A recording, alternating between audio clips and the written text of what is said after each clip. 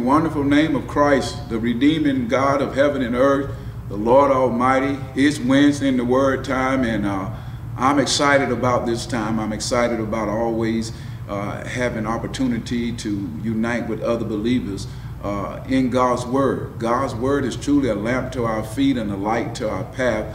And the Word of God has made a difference in our life, and we all that are born again, we know what that is like.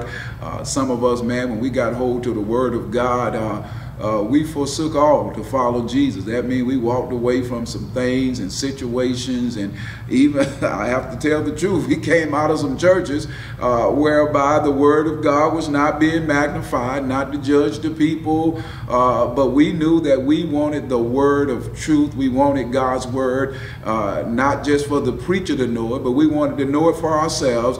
We wanted to know how to get in our Bible and study the scriptures. We wanted to have understanding. We want to have revelation knowledge. And so it was the word of God that began to direct our lives. And we prayed and God began to tell us, okay, I want you to go here and go there. And, and you know, a lot of time when you obey God, everybody didn't jump up and shout, especially if it was a traditional system whereby, you know, this is the home church and you know the home church. I, I don't know what a home church is. I believe we're in the house. We're already in the home church when we're in the body of Christ. It's his house.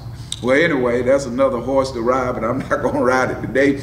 But I'm excited about the Word of God. It's Wednesday in the Word time, and we're going to pray, and we're just going to have this devotional time. That's all I'm sharing is going, interacting with the Word of God, and I pray you are having a daily uh, bread experience with devotion, that your devotional life have taken on new meaning and a new purpose. You're not jumping up in the morning, rushing, and, you know, in a hurry. You're taking time to get in God's presence and interact with His Word. Father, we thank you for this time that we have uh, in the Word of God and, and for you to speak to our hearts, Father, for you to uh, build our faith and strengthen our faith, Father, through your Word. Uh, thank you for this time that you've given us uh, not only the word of truth, God, but you've given us the God of truth, Jesus Christ. He is the truth. Thank you for what he uh, has done and is doing in our lives and through our lives for the glory of your name. We ask that you bless our time together now, Father, uh, that it would be fruitful, enriching, edifying, enlightening, and that we might go out and do the work of an evangelist, that we may go out and, and share Christ with others. In Jesus' name, amen. Well, we are looking at Hebrews chapter 10, and I'm going to read verse 24 and 25. But today I'm going to read it from the Amplified Bible, and I know these particular scriptures have probably become part of your faith library. Uh, you meditated and memorized them. You can sing them in worship. You can speak them while you're driving along the highway. That's how you want to get the word planted in your heart. But Hebrews chapter 10, verse 24 and 25 from the Amplified Bible reads this way. And let us consider and give attentive, continuous care to watching over one another, studying how we may stir up, stimulate, and incite to love in helpful deeds and noble activities. Verse 25. Not forsaking or neglecting to assemble together as believers, as is the habit of some people, but admonishing, warning, urging, and encouraging one another, all the more faithfully as you see the day approaching. The day approaching is the day of Christ's return. We are called to be diligent in our faith, and one way in being diligent is that we're faithful and encouraging other believers relative to the love of God and the work of God. And not only that, but also being an example to believers and assembling together, coming to church, gathering together with other believers. Now, this isn't man's rule or man's guideline. This is God's wisdom and God's instruction to those who claim to be his children. If he's our father, he gets to give us the direction and guidance that we need as a father. And he is our heavenly father. And so what he's instructing us to do, we don't get to vote on it. We don't get to decide, well, God, I got another uh, uh, uh, opinion about it. We have to say yes and amen. for it is the word of God. Well, today I want you to uh, have a devotional time with me in the book of Isaiah. In Isaiah 55, go ahead and take your Bibles and, and turn there, Isaiah 55. And in Isaiah 55, we often, you know, familiar with a portion of it where it talks about God's thoughts versus our thoughts, God's ways versus our ways. But I want us to go a little further up in the context and look at exactly because what Isaiah is really uh, communicating to God's people is what the abundant life looked like. And it's important that we understand the abundant life.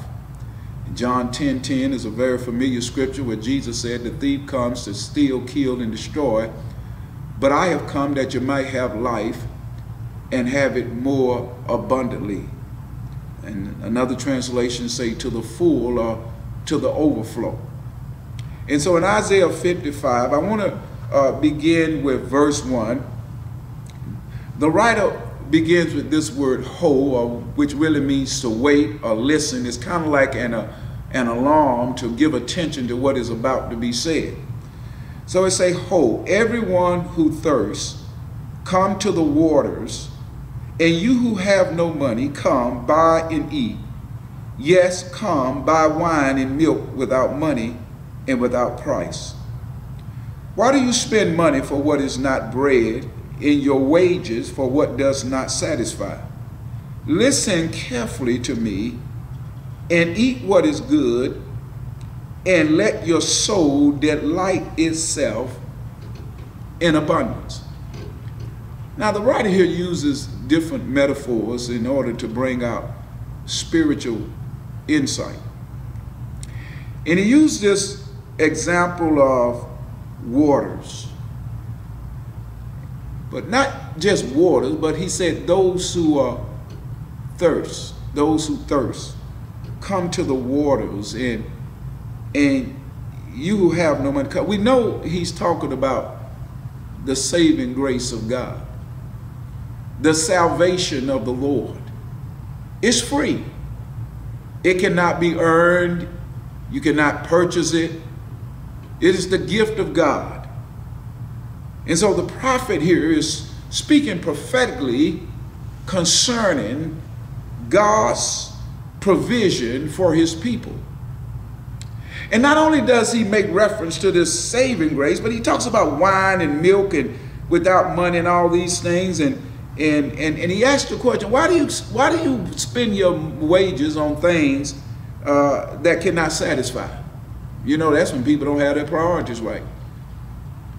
Because in order to desire spiritual things, they have to be a priority in your life. In order to desire the things that God desires for us, there has to be the Spirit of God stirring our hearts in that direction. The flesh does not desire the things of the Spirit. The human nature, the nature without the divine nature. And, and, and that's where the spiritual thirst come from. I'm, I'm thirsty for the things of God. I'm thirsty for spiritual things because God has placed a thirst on the inside. This is not a thirst that you conjure up.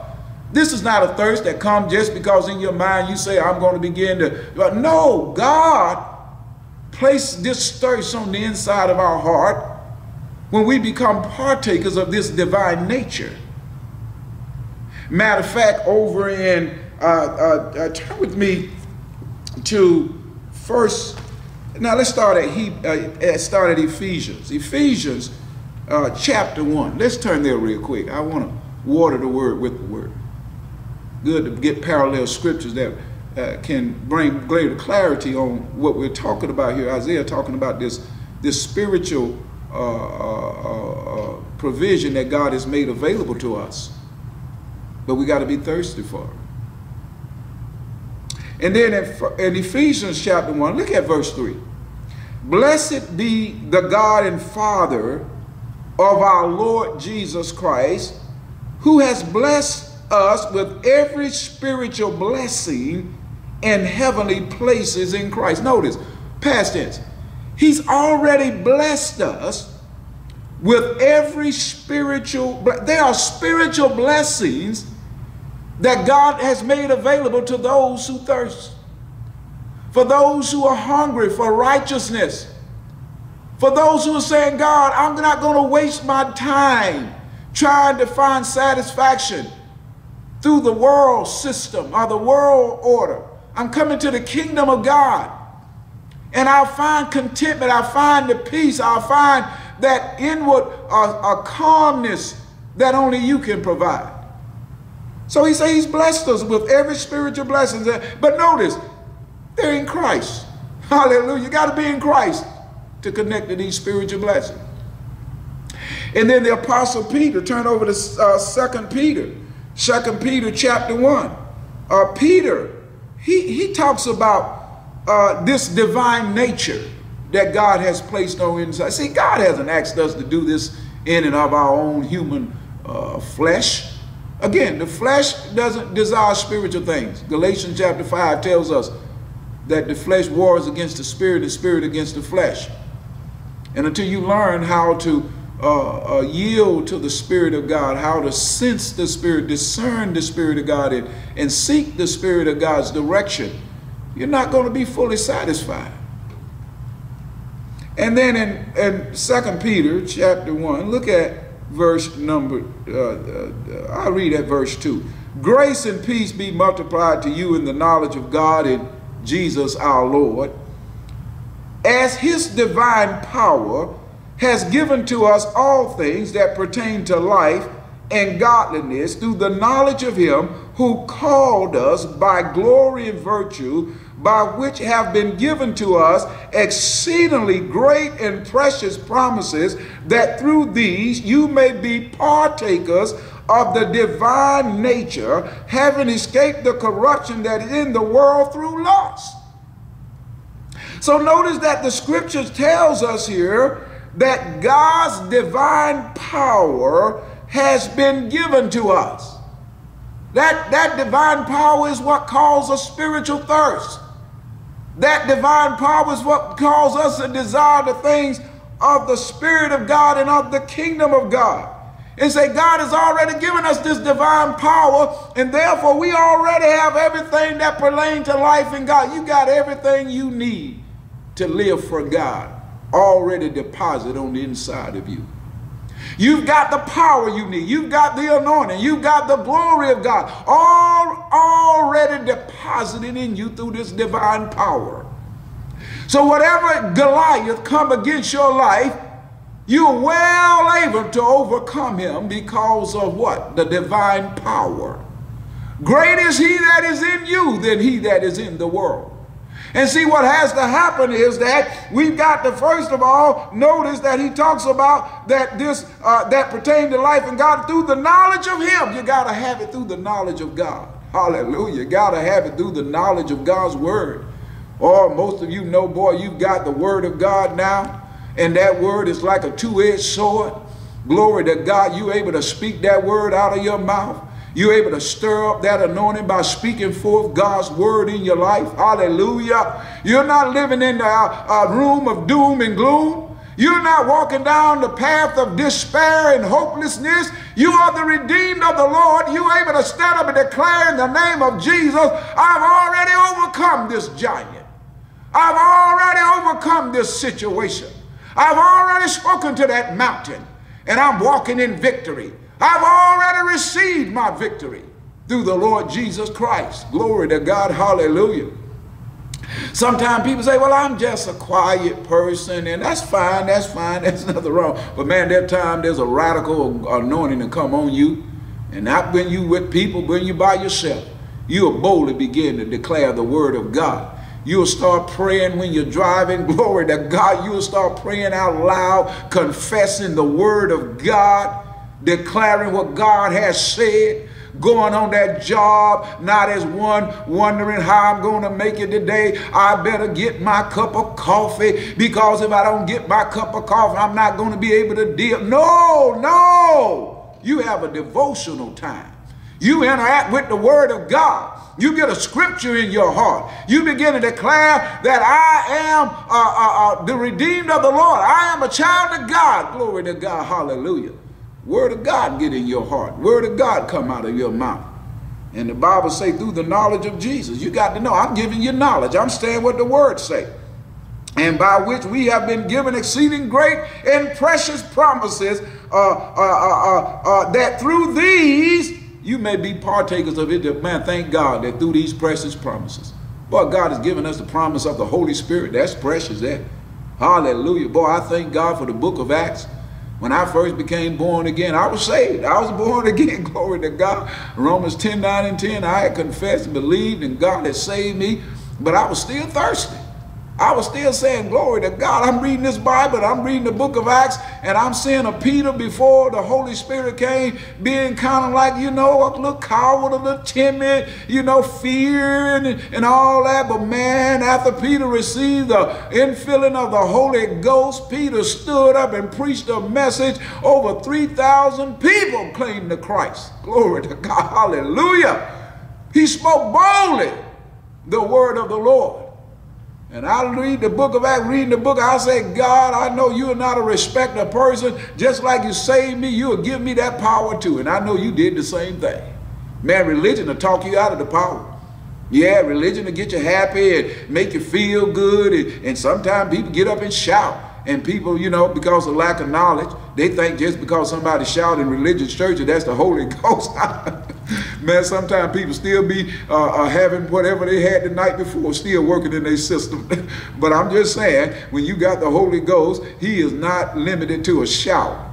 He is a power, dunamis, dynamite on the inside of your heart of faith, and he is what calls your faith to be courageous faith, strong faith, bold faith, faith that stands up and declare that I'm going to walk in the will of God for my life and I'm going to be a witness for the glory of God. Well, the Bible says he's given us all these precious promises. Oh, man, the Holy Spirit is a precious promise. The gifts of the Spirit, those are precious promises. Glory to God. The fruit of the Spirit, those are precious promises. All of these spiritual, wonderful blessings that God has given his children, all because we thirst we came to the waters. We didn't buy it. Freely we received it. And freely we're willing to share it with others. So Isaiah opened up the abundant life, and the abundant life begins with a spiritual thirst. It begins with you desiring the things of God, and you begin to walk in the things of God. Then he goes on down, and uh, I'm going to come down to verse 6 because he says, Seek the Lord while he may be found, call upon him while he is near. Let the wicked forsake his way, and the unrighteous man his thoughts. Let him return to the Lord. He's telling Israel what they got to do. What they got to do. They got to get back on course with God. They got to seek the Lord. They got to pray. They got to call on him. They got to turn away from some things. And they're going to return to the Lord. And I believe we're in an hour now where people know what it means to seek the Lord. Hallelujah. You want to know what God's will is for your life. You want to know what God's will is for your church. So that's why the church and people pray and seek the Lord. They want God's will. I got a person right now, they called me and wanted me to be praying and stand in agreement about a major career decision that uh, others are really making relative to their career, but they want to make sure before they say amen to it and agree to it, whatever the outcome be, because he said that his prayer has been, God, if this is a door you want to keep open for me, I'm willing to serve the people. But if this is a door you're closing, I want to obey you. And so uh, I told him I would definitely pray, be praying with you because I know how important it is when you're seeking the Lord, you want God's will for your life. And there are different emotions that come, and we identify some things and thoughts that come. That's part of seeking Him. You're still in a human form. You're still in a human body. But thank God you got people in your inner circle that you know that God can pray and can uh, get before God and, and intercede in your behalf, and you're praying. That's how, that's how you seek the Lord. And then he goes on, and uh, man, and then he comes into verse 8 he said, My thoughts are not your thoughts, nor your ways my ways, said the Lord. For as the heavens are higher than the earth, so are my ways higher than your ways, and my thoughts than your thoughts. As the rain comes down from heaven and do not return there and water the earth and make it bring forth the bud, that it may give seed to the sower and bread to the eater, so shall my word be that goes forth out of my mouth. It shall not return to me void, but it shall accomplish what I please, and it shall prosper in the thing for which I sent it. Man, I know you have lived your life, if you've been walking with God for a number of years, you've lived your life around this prophetic revelation here concerning how God operates and how God moves in the lives of those who follow him. And you are like me. We have prayed and, and asked God for certain things and things turn out another way, but we trust that he's sovereign and that his thoughts are higher than ours and his ways are higher than ours. And I don't know about you, but I yield my faith over to God. And sometimes I'll say, well, God, you know something I don't know, and I'm going to trust you with this. But what I do know is I have the assurance that he's going to watch over his word and wherever he sent that word in my life, in my situation, it's going to prosper. It's going to have great fruit. I'm going to have great success from the word that God has spoken out relative to my life. Even the angels hearken unto the word of the Lord. Glory to God. You remember that time in the body of Christ when people started ministering about angels and, you know, Christians got excited about, you know, going to the uh, a grocery store and giving testimonies about, you know, I asked my ministering angels to get me a parking spot close to the place. Man, I tell you what, I don't know about you, but I be monitoring my steps now. You get a certain age, you want to get some steps in. So sometimes I'll park a good uh, distance just to keep my steps, get, get my exercise. But I'm just saying, yeah, God has given us ministering angels, a, a ministering spirits to minister in our behalf. Uh, but man, I tell you what, there's so much more they're doing for us that we don't even know about. So much more they're doing right for right now for you. Why? Because the Father has spoken a word relative to your life. Because heaven has responded to your prayers. And the moment you set your heart to pray, God released the answer. And all of a sudden the enemy, because we're in a spirit uh, a world, darkness, the enemy is trying to come and war against that, but thank God that he sends reinforcement from heaven. He sends ministering angels to minister in your behalf, to war against those spirits in the spirit realm. And that's why you keep confessing what God said and declaring that I've already overcome by the blood of the Lamb and the words of my testimony. And so we see that, uh, and I know you're like me. I'm like, oh God, I thank you that you have sent a word from heaven. God, you have spoken something relative to my life, and I'm excited about it because you said that word will not return to you empty, but that word will accomplish everything you intended for it to do. So all I have to do is what? Stand in faith, receive the word of God, confess the word of God, sing the word of God, shout the word of God. Glory to God. Hallelujah. Boy, I'm getting excited because I get excited about the word of God.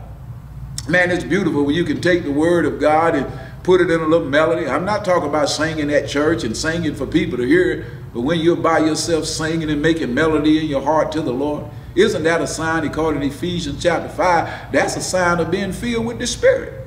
When you're singing, making melody in your heart unto the Lord, speaking to one another in songs and spiritual hymns, hallelujah, being filled with the Holy Spirit, walking in submission, submitting yourself unto the Lord, all of those are witness of, of being filled with the Holy Spirit. And then he goes down in verse 12, he says, For you shall go out with joy and be led out with peace, the mountains and the hills shall break forth into singing before you, and all the trees of the field shall clap their hands. Instead of the thorn shall come up the cypress tree, and instead of the briar shall come up the myrtle tree, and it shall be to the Lord for a name, for an everlasting sign that shall not be cut. Notice how God said, when I send my word, when I speak that word, when I release that word out of heaven toward your life, it's not going to return to me void. It's going to accomplish what I intended for it to do. And get this, look how your life is going to go forth. You're going to go forth with joy. Hallelujah. You're going to go, you're going to get out of the presence of God full of joy. Why? Because you see, okay, God, you said that I'm going to go out with joy. I'm going to go out with joy. I'm not going out with, with, with grief and sorrow and pain. I'm going out into the world with joy. And when I go out with joy, oh man, the elements of the universe are going to begin to worship God. Boy, I tell you what, can you imagine? You rejoicing in the Lord, giving praise to God, and there go some trees around you. You can't see it in the natural, but according to this scripture, the trees are going to be singing, hallelujah. Oh, glory to God. The mountains and the hills, all of them going to burst. And know what? Everything is being done to bring glory to God. Everything is being done to bring glory to God. And, and he said, what's going to happen is the blessings are going to manifest. Oh, you ain't to have no curse on your life. I don't care how many enemies you have, and I don't care how many people waiting on something bad. They're to keep waiting, hallelujah, but it's not to come to pass. But the blessings of God to be in your life. The favor of God to be over your life. And God say stuff to come up in your life. Good stuff to spring up. Favor just to cause things to manifest in your life. And God said that it shall be to the Lord for a name. It's to bring glory to God. Hallelujah. And that's what you want. You want, at the end of the day, you want to say, God be glorified through this. Bring honor to your name. Hallelujah. That even if you experience in the valley of the shadow of death, don't fear no evil. God is with you. His rod and his staff, they comfort you. He prepares to take. Now, now that's not a, I know we use it at funerals, but man, that's a song for the living. That's a song for those who know God. That's a song for those who walk with God. That even if uh, they're under some type of uh, challenge in their life, God hasn't forsaken you. God hasn't abandoned you. In Hebrews 13 and 5, he said, I will never leave you nor forsake you. The Lord is your help. He's the one on your side. You're not fear what man can do unto you. I want to encourage you today. Hallelujah. And as you begin your day and as you go forth in your day, begin to see when you walk out in the beauty of God's creation. Man, that beauty, that creation was designed to give glory to God. Hallelujah. Everything that created, God created was designed to bring glory to him. Well, I know you've been blessed by the word of God. You've been refreshed by it. Hallelujah. You've been stirred up. You've been excited toward love and good deeds. That's what the word of God does. I want to thank you for uh, joining me in Wednesday in the word. And uh, uh, we're getting ready to prepare our hearts to transition over into a new year. I want to pray for you before I leave today. I just sense the leading to pray over you uh, before I leave today. Father, in the name of Jesus, you watch over your word to perform it. Your word is life to us and health to all our flesh. Your word give understanding even unto the simple, Father. I pray in the name of Jesus, those who are united with me around this word, around this table of truth that has been hearing the word of God, I pray, God, for an anointing of boldness on the inside of their hearts. I pray for an anointing of courage to spring up in them, Father, and that they are declaring that they are the head and not the tail today. They're declaring that if God be for me, what can be against me? They're speaking forth, God, those things that they have already petitioned you, those prayers and intercessions they've made, even in behalf of others, Lord, loved ones, friends, things that's going on in the world, their intercession, their prayers. Oh, dear God, I pray that they will be encouraged to know that the ears of the Lord are open to the prayers, to the cry of the righteous. And God, you hear their cry, you hear their prayer. You are using their prayers to, great, to bring forth your purpose and plan in the earth in the name of Jesus. I pray, God, that they will walk in the strength of the Lord, declaring that God is my shield and my buckler. He's my strong defense. He's my joy and he's my peace today. I pray in the name of the Lord Jesus Christ, Father, they would declare that I am covered in the whole armor of God. Hallelujah. I've overcome all the works of the enemy because God is with me. I pray your grace upon them, Father. I pray the wisdom of God be with them. In the name of Jesus, I declare they are the children of the Most High God. They are king's kids. They are royal priesthood, holy people, been called out of darkness, showing forth your praises, declaring your glory in the earth. In the name of Jesus, I give you all the praise and all the glory, Father. In Jesus' name, amen. Well, God bless you and have a great day in Jesus' name.